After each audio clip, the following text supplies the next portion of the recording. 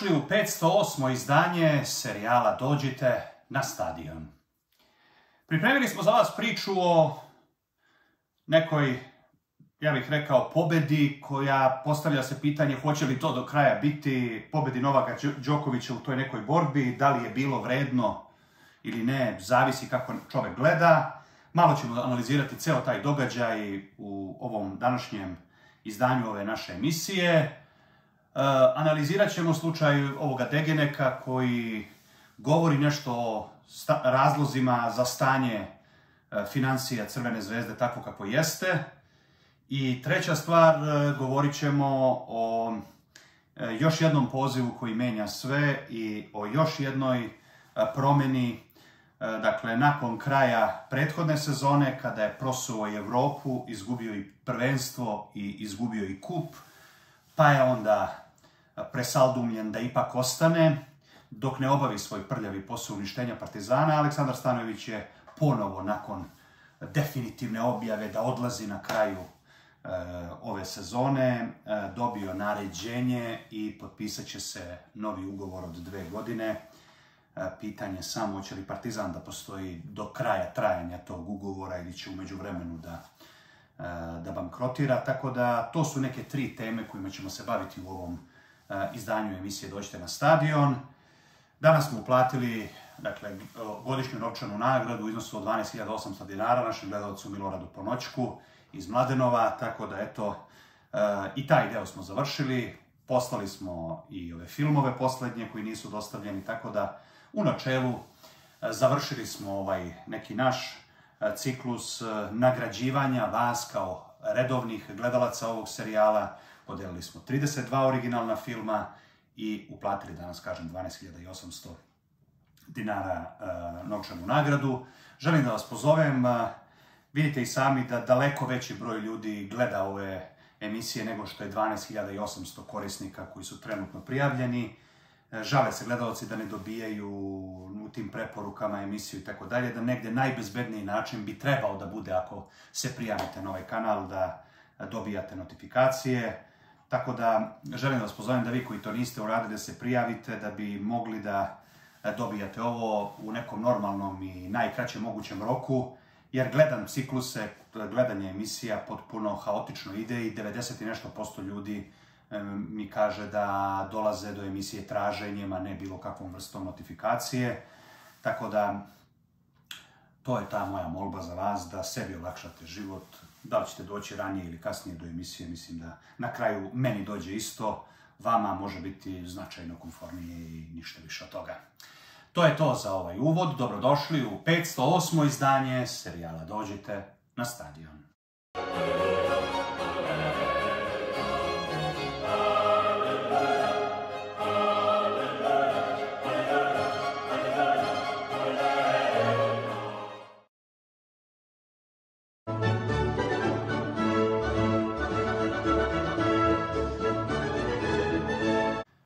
Sada je vreme za naš redovni komentar. Teško je nazvati drugačije ovu pobedu Novaka Đokovića nad tim suludim pokušajima australijske države da e, generalno na njemu istrenira tu neku svoju strogoću, drugačije osim pobeda. E sad postavlja se prosto pitanje hoće li pobeda biti na kraju pirova, Hoće li ta pobjeda biti plaćena prevelikom cenom? Ne zna se još uvek hoće li ovi predstavnici države sada uraditi nešto još gore pa mu zabraniti na tri godine da uđe u Australiju. Koliko su daleko spremni da idu, oni su zemlje, rekoh, u previranju. Sve zemlje na ovom svetu su u previranju i imaju probleme koji su ove prirode, više od dve godine traju zatvaranja, pokušaj da se što merama zatvaranja, što vakcinama, što ovako ili onako stavi tačka na ovu pandemiju, mi nismo blizu tome. Nama ljudi umiru u redovima dok čekaju e, da budu pregledani za COVID. Mi se suočavamo sa istorijskim brojevima na papiru lakšeg kliničkog stanja tog omikrona i tako dalje, ali u načelu brojevi ubijaju ovde. Ogromni brojevi, ogromna čekanja po hladnom vremenu. Tako da ništa neobično, rekao bih. Određeni broj ljudi u svetu, pa i u Australiji, razvio je određenu glad za kontrolom. I jedna od tih gladi je svakako i potreba da se nekako svi nateraju isti kalup, da se bez obzira što je očigledno da nemamo srebrni metak, da taj srebrni metak možda budu ti lekovi koji oni prave, pa neće biti vakcina, nego pilule ili šta ja znam šta će da naprave, ili će to jednostavno da prođe kao španska groznica tri godine i tako nešto, da će sljedeći poslo mikrona biti još lakši i zarazniji, pa onda onaj tamo će biti kao grip, nemam pojma. Uglavnom, e, taj pokušaj je negdje doživeo fijasko, Australija je zemlja u kojoj postoje nezavisni sudovi, vidite koliko je to divno kada imate sudiju koji može da, da donese odluku, kad nemate premijera ili predsjednika koji je ujedno i sudija i tužilac i e, selektor reprezentacije i predsjednik futbolskih i košarkaških klubova i sve i tako dalje, nego tamo taj premijer je jedno, pa sud je drugo, pa pokrajine te države su treće, pa federalna država je četvrto, pa razumete, Uh, uređena država u kome, koje postoje određeni elementi kontrole. E sad, postoji cena za tu pobedu i mislim da ostajem pri onome što sam rekao u prethodnoj emisiji da je Novak Đoković uh, trebao da se informiše gdje dolazi, u kakvo stanje dolazi i da eskivira ovakvu vrstu medijske pažnje.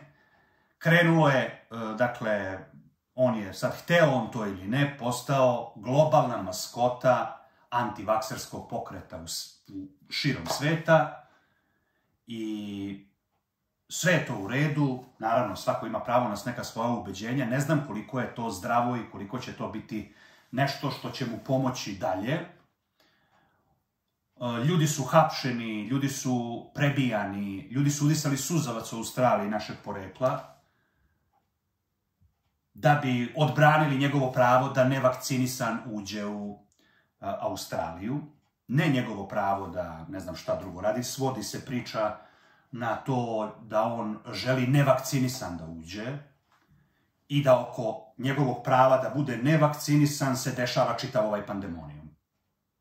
I onda se preko njegovih leđa određeni deo vlasti dokazuje strogoću i da nema onih koji su iznad i drugi deo, to nije Kina, to nije Srbija, to nije diktatura, pa ima neki sudija koji kaže, vidi Burazeru, ne možeš ti čoveka da držiš tako bez veze, čovjek je preležao, dali ste mu ovo, ovo, i razumete, znači prosto ta priča je takva, međutim, on je postao Novaks i Prvi put, ja mislim, od kad pratim to, pojavljuju se već sad tekstovi, da, koji ga nazivaju onim koji, čovekom koji grli piramide, sad ono tamo u visokom, ono, onaj ceo performans tamo gdje se on napaja energijom, pa onda ovi njegovi ispadi njegovog oca, sad počinju da dobijaju pažnju i tome slično. Ne znam kako će da igra na US Openu, ja koliko razumijem da je Amerika donela odluku da niko ko nije dvostruko vakcinisan ne može da uđe u Ameriku nikako, ne, nevezano za turnir ili za bilo šta drugo. Koliko će sada ovo, uh, čak i da on ostane i čak i da, uz, da odigra taj US Open nakon ovog, ove čitave Golgote i tako dalje, koliko će to generalno u narednim turnirima navesti sve te organizacije da to uže zategnu još jače. To je otprilike onaj neki moj osjećaj da ovo uh, jeste na neki način simbolična pobjeda, ali da bi se na kraju moglo pretvoriti u Pirovu pobedu ili u pobedu koja je plaćena toliko skupo da je on za taj e, osjećaj e, odbrane svog prava da ne bude vakcinisan, platio previše, e, stekao reputaciju koja sada ne znam kako će da se skine, u polarizovanom svetu, u svetu u kome taj drugi deo sveta koji je sklon da rešenje traži u vakcinaciji predstavlja establishment praktično svih vlasti na planeti Zemlji, trenutno, a da je ovo neki underground, nešto van institucija, neka vrsta, razumete, ono puta kojim se ređe ide, i tim putem kojim se ređe ide mogu da idu ljudi. Obični pitanje može li neko koji je toliko deo tog establishmenta i mainstreama kad je reč o tom nekom sportu bogataške elite i sportu koji generalno privlači tu vrstu publike, može li onda opstane u tom sportu dalje nakon ove, kažem, a, situaciju u kojoj je postao maskota antivakserskog pokreta. Postavlja se onda prosto pitanje rezultata svega toga ovde, koliko je sve ovo dovelo do toga da je sada postalo gotovo pitanje ličnog dostojanstva nevakcinisati se kao Novak, koliko je ovo negde poništavanje, ne znam, svih tih napora da se ljudima kaže da treba da se vakcinišu ako su posebno zdravstveno rizična grupa i tako dalje. Znači, to su neki efekti koji, kažem, polako počinju da sustižu i kada saberemo sve to, e, radost zbog toga što je njemu odbranjena viza u Australiji trajeće neko vreme, pod uslovom da ga ovaj ne izbaci na tri godine, pa se ispostavi da ne da neće dobiti pravo da igra na ovom Australijan Openu, nego neće moći naredna dva još da igra i tako dalje. To možda bude ekstremno skupa igračka, ali ajde da izrazimo sumnju da oni to čak i neće smeti da urade, da su se dovoljno izblamirali.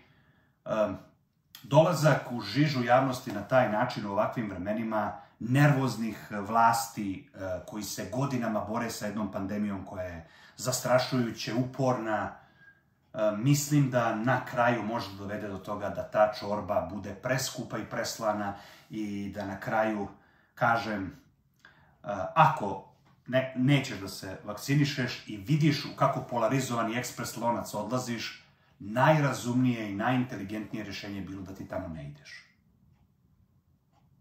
Ovako, čak i da osvoji Australian Open, ja vam kažem, mala je verovatnoća da mu uopšte dozvole, ali da mu dozvoli, da on nakon ove Golgote napravi to čudo nad ljudskoj i, i osvoji to tamo, e, moglo bi se desiti da ovo bude početak kraja Novakove karijere, i da ovo ovako kako je odskočilo i taj publicitet i ta slavodobitni ton i neko je pobedio Australiju i tako dalje, sledeći put će doći da pobedi Ameriku, pa da pobedi, ne znam, Francusku, pa da pobedi Veliku Britaniju, a ti političari baš ne vole da budu pobeđivani.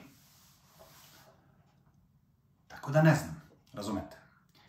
Bilo bi lepo da je ovo svet u kome to može tako, ako je nešto ipak stvar ličnog izbora i da zbog tog vašeg ličnog izbora neki naši ljudi u Australiji dobijaju batine, e, bivaju davljeni suzavcem i sada plaćaju neke debele novčane kazne i tako dalje. E, na kraju se postavlja pitanje e, da li je to toga vredno. Eto, ništa više i kako dalje, sa kakvim imidžom globalnim dalje, u kome će vas pola sada sveta voleti kao ro, rod rođeni, od Amerike reće, bravo, care, ti imaš ono, kokosove orahe, ti si najjači, ti, sve to super. I onaj drugi deo, znate, ono, establishmenta zdravstvenog, establishmenta državnog, establishmenta koji drži nož i pogaču u ovom svetu u kome mi živimo, koji je sada od Novaka Đokovića počeo da doživ... Novaka Đokovića počeo da doživljava kao crvenu maramu. I ja ponavljam, razum, razumno rešenje bilo bi da se status crvene marame izbegne. Ali, razumete, to je neko moje mišljenje i kažem, ostajem pri onome što sam ovamo rekao.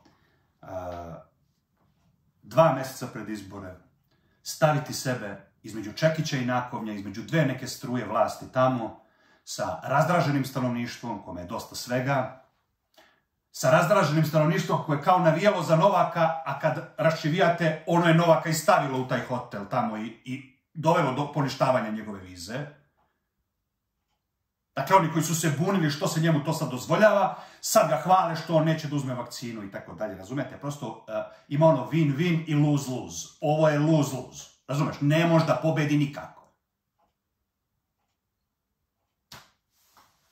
Tako da, voleo bih da mogu da podelim tu euforiju, uh, bojim se da će ovo da mnogo košta. Ako me razumete, i uh, da to nije sport siromašnih i to nije sport, razumete, sirotinje, to je sport te elite i tog establishmenta i ja mislim da će ovo da košta. I da ova pobeda, ako uopšte bude pobeda, ako ovi ne odluče ipak da ovo ponište, čak da osvoji Australijan Open, to sad, onaj koji grli piramide, znate, nacionalista, sad počinje, razumete, sve ove njegove nastranosti koje su svi ti mediji, domaći i strani, nekako izabrali da ignorišu. Sad će nakon ovoga da budu iznete i on će da objašnjava i paganska božanstva i Tesline vremeplove i e, nadri lekara Nestorovića i da li voli vakcine ili ne voli i da li će da porazi stotine miliona ljudi na zapadu i razumete, sve ovo što je, kažem, bilo po strani sad bojim se da će doći na svetlo dana i da na kraju to će biti jako teško braniti.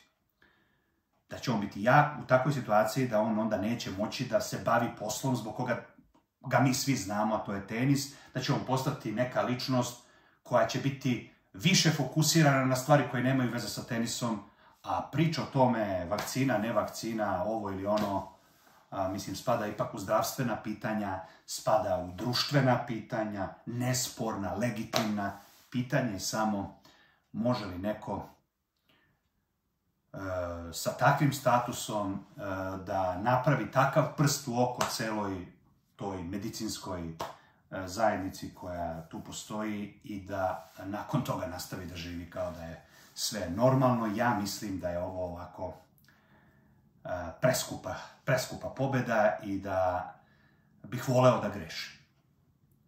Ali mislim da ovako, kad sagledate sve to, kad gledate ove naše ljude tamo nesečne koji su došli da mu daju podršku, pa su izudarani, pa su svašta, pa... pitam se, je li vredno to? Razumete, je li vredno toga, je Jesmo mi branili njegovo pravo da igra tenis ili njegovo pravo da se ne vakciniše? I što bi neko dobio batine zbog nečijeg, nečije odluke da se ne vakciniše?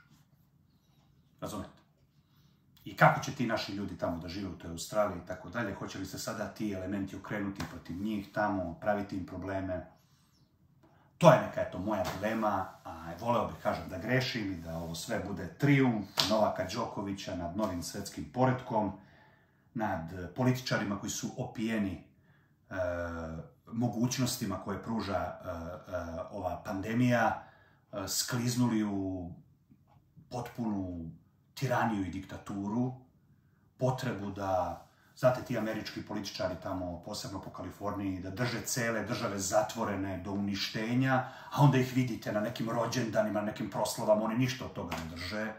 Njima nekako to dođe ono kao trip moći koji je dobro došao da oni počnu da kontrolišu u jednoj slobodnoj zemlji stanovništvo koje pre pandemije nisu mogli na taj način da kontrolišu. Dakle, nesporna je frustracija ljudi, sporna je ideja da neko priča kako ovo ne postoji, kako ovi milioni pomrlih ljudi ne postoje, kako je to ne znam šta grip kao i svaki drugi, kako je ova pandemija koju je Kina izvezla u svet izmišljena, nepostojeća. Ja ne znam koji stepen hipnoze je potreban da čovjek u to poveruje. Znate li vi lično najmanje pet ili deset ljudi koji su pomrli od ovog gripa? Ja ne znam da nabrojim do 2019. godine ni jednog iz moje bliže ili dalje okoline koji umro od gripa. Bilo kakvog. Od tumora, od saobraćene nesreće, od ovoga i onoga. Um, imam umrlih ali od gripa da mi je neko umro u užoj ili široj familiji, prijateljima, ja nemam to iskustvo. Do ovog, ovde gde mogu da vam kažem, ne znam, jedan, drugi, treći, peti, deseti. Tako da, znate, jedna stvar je zloupotreba pandemije u svrhu uvođenja nekog totalitarizma, a druga stvar je jedno gotovo hipnotičko propovedanje, da mi ne vidimo ono što vidimo i da ovo nije ništa i da je ovo izmišljeno i da ovo ne postoji. E sad, zastava te hipnoze postoje Novak Đoković. I sad, kako će on iz toga da izađe, koji će tu PR da bude, kako će ta druga strana to da gleda. Volao bih da imam bolja očekivanja, pozitivnije očekivanja, ali bojim se da od toga nema ništa. To je, to je onako, kažem, preskupa pobjeda. Ali vidjet ćemo, eto, vidjet ćemo kuda će sve ovo da ide e, i da vidimo šta će ovi da odluče do kraja, ali, kažem, pogledate te tekstove, pogledate sve i sve jasno. Onako, baš skupa čorba. Miloš Degenek je trebao da ide u austrijski klub, austrijski klub je htio Zvezdi da da pare, ono o čemu nisu mogli da se dogovore sa valjda Laskom ili s kim već, to je plata jer je Degeneku plata dva puta veća u Zvezdi nego što je bio spreman da ponudi Lask koji je iz jedne bogatije zemlje nego Srbija, iz Austrije. I Degenek se na kraju nagodio da kao suma ono, raskine ugovor, oprosti neka dugovanja, pošto nisu mala, pošto doktor Zvezdan Terzić ima ogromna dugovanja prema igračima, i da ode e, čistih papira. I to vam govori jako puno. Taj Degenek je bio glavni štoper zvezdinih ovih grupnih faza, strelac golova, reprezentativac e, Australije. E, jeste njemu Sadik namestio kičmu za sva vremena i po tome će i ostati upamćen, ali e, u načelu teško je oteti se utisku da je to ipak štoper koji ne bi mogao da odlazi za džab džabe iz zvezde tek tako. Ali te dve činjenice da plaćajući obeštećenje ne postoji klub koji možda dođe do 50% plate koju Degenek prima sada i da Degenek možda možda prima tu platu ili blizu te plate negde drugo pod uslovom uh, da uh, izlazi potpuno uh, kao slobodan igrač iz ugovora. To vam govori sve što treba da znate o Crvenoj zvezdi i njenim financijama. Dakle, igrače ne može da proda, od igrača ne može da zaradi, nakon pet vezanih grupnih faza ili šest, ne znam koliko, nakon pet uh, uzastopnih, uh, uh, četiri uzastopne titule prvaka, Crvena zvezda se oslobađa ne poletaraca, ne nekih igrača rezervnih, nego ključnih kamena temeljaca odbrane, tako što ih za tepsiju ribe pušta, ne može da ih proda ni za 800.000 evra, jer plata koju su im napisali je takva i ogroman broj tih igrača, kažem, i sukobi kad pogledate oko čega su, Zvezda je nazidala platni fond do neba i Zvezda sebi taj platni fond ne može da priušti. Čak ni uz uh, sumanute uh, pare koje Vučić direktno i indirektno uh, ulivao u Zvezdu, Zvezda to ne može, ne može da, da sebi priušti. To postoji na strahu poverilaca da traže svoje, na strahu, razumete, Zamislite to obhođenje prema Lećevu i Fiorentini, kao ne kreditirajte nas i šta nam možete. Zamislite kakav teror postoji prema domaćim poveriocima, da kad ti zvezdi treba nešto da daš ili zvezda nešto da naplatiš, to je u ovakvoj zemlji gotovo nerealno, gotovo nemoguće. Ti ne možeš da ostaneš živ ako, recimo, pustiš menicu crvenoj zvezdi na račun i tako dalje. Slediti gepek, slediti zlostavljanje, slediti maltretiranje, Razumete? Prosto, kad se to sklopi, kad e, ta Vučićeva tiranija polako uđe u tu neku svoju fazu, vidite kako počinju da podvijaju repi s ovim Rio Tintom, kako to polako se nižu porazi i povlačenja, kako on sada brže, bolje povlači i e, to, on će sve da plati, on će ovo, ono, razumete, mislim, to su sve indikatori e, jednog opšte haosa u kome se taj režim nalazi, ljudi po nekoj inerciji pričaju, ma ne možemo niko ništa, pa pobedit će na izborima, pobedit će 20%, mi molim vas gledajte malo širu sliku, gledajte šta se dešava u Bosni, gledajte šta se dešava ovamo onamo, gledajte koliko je taj režim unutra truo, gledajte koliko ljudi ima pokvarenih tu i tako dalje. Vidite, recimo primjer tih, tih svih kadrova koji neće da odu, koji, razumete, evo sad ovoga Grčića ne može da smeni, što rukama i nogama se bori, piše pisma neka i tako dalje, podrške samom sebi, Razumete, mislim, prosto e, polako, ali sigurno taj režim se upetljava kao pile u kućine. I ja nisam takav optimista. Da li će on da namakne više od 50% u Skupštini, verovatno. Da li će on da namakne za sebe to, ne, ne sumnjam ja. Problem je što ta pozicija upravljanja jednom ovakvom državom postaje gotovo nemoguća. Postaje do te mere stresna i teška da se postavlja pitanje može li to da se preživi, koliko je više privlačno i koliko će uopšte biti izvodljivo biti na čelu jednog takvog entiteta koji će iznutra i s polja biti pod takvim pritiskom da to prosto više ne može da se podnese. I sad, znate, to podlačenje, podvijanje repa, izlazak kao Rio Tinto, poništavamo sve, Ana Brnabić je tu blizu da kaže, evo, idemo i tako dalje, razumete? To idemo. Idemo kad je Rio Tinto, a ne idemo kad je Zijin, ne idemo kad je Linglong, ne idemo kad je Gazprom, ne idemo, razumete? Samo idemo kad je Rio Tinto i ovi na zapadu će to da kažu da, da, pa, eh, drago nam je zbog Zijina, drago nam je zbog Gazproma, drago nam je zbog Linglonga, samo napred. Ili će oni nešto po tom pitanju da preduzmu. Ili će oni da kažu, vidi Burazeru, ili će i ovi da prestanu, ili ćemo i mi da nastavimo, ili nema treće. I to vam kažem, upetljao se kao pile u kućine i crvena zvezda a, sa konceptom da ne plaća dugove, da poverioci kreditiraju zvezdu, da poverioci se plaše Aleksandra Vučića pa ne smiju da traže svoje pare od zvezde, kad se ta barka zaljulja, kad zvezda dođe u situaciju da više se njeni poverioci ne plaše da traže svoje, bojim se da ovaj degenek postane malo širi fenomen i da ovaj degenek, preplaćeni degenek i njegov odlazak iz zvezde ne postane onako ona tačka na koju će se moći pokazati kao jedan od glavnih faktora finansijskog sloma Crvene zvezde. Slični obrazac postoji u Partizanu. Aleksandar Stanović je čovjek bez ikakvog stida i morala, bez ikakve moralne kičme, čovjek koji nema nikakvo lično samopoštovanje, čovjek koji je još jednom to pokazao. Ja sam vam rekao da je vrlo sporno hoće li Aleksandar Vučić dozvoliti njemu da on pobegne i šmugne pod bilo kojim izgovorom na kraju ove sezone. On je objavio u Zvezdinoj kladionici slavodobitno, definitivno odlazi na kraju sezone, postoje se prosto pitanje protiv prirodno potpuno stanje. Radiš neki prelazni rok, dovodiš neke igrače, da ti trener kaže odlazim za šest meseci, hoće li igrači koji on sad dovede da igraju kad dođe novi trener iza njega, kako to utiče uopšte na poruku kad ti najavljuješ da odlaziš, a prvi si na tabeli, prezimeo si u Evropi i tako dalje, dakle, zbog čega bi neko odlazio sa tako nečeg dobrog, a poenta jeste upravo u tome što on zna zašto hoće da pobegne i zna zašto mora da ostane, kao što je hteo da pobegne i nakon što je prošlu sezonu bacio u WC šolju i ostavio Partizan bez ičega, Isto tako sa tim nizovima 19 pobjeda uzastopno i na kraju Partizan je dobio još e, šipak, ništa.